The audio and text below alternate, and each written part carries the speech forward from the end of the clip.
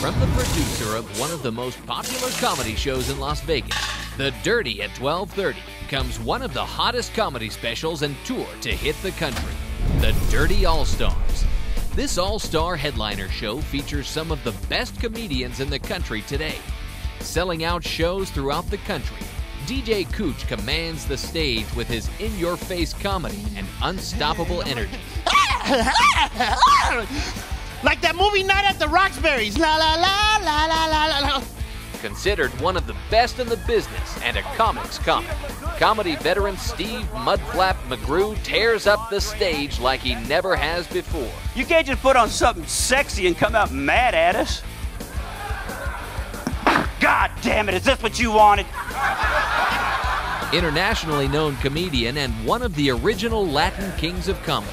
Joey Medina will have you on your feet. But ask anybody that knows me, out of all the Chinese people in the world, out of all the Chinese people in the world, my favorite Chinese people are the Koreans. Koreans are some of the nicest Chinese people. And hold on to your seats when the hard hitting dynamic right, duo girls. of comedy, the Smash Brothers, take the stage. Having sex with Chad's a lot like a Discovery Channel show. That's right. I'm naked and you're afraid. Hosted by Funny Man and the creator of the Dirty All Stars, Gabe Lopez. Some ladies want a sensitive guy. Ladies, I'm letting you know right now. If you want a sensitive guy, he probably already has a boyfriend. Unapologetic and politically incorrect, this show is guaranteed to be talked about for years to come. Straight from Las Vegas, the Dirty All Stars.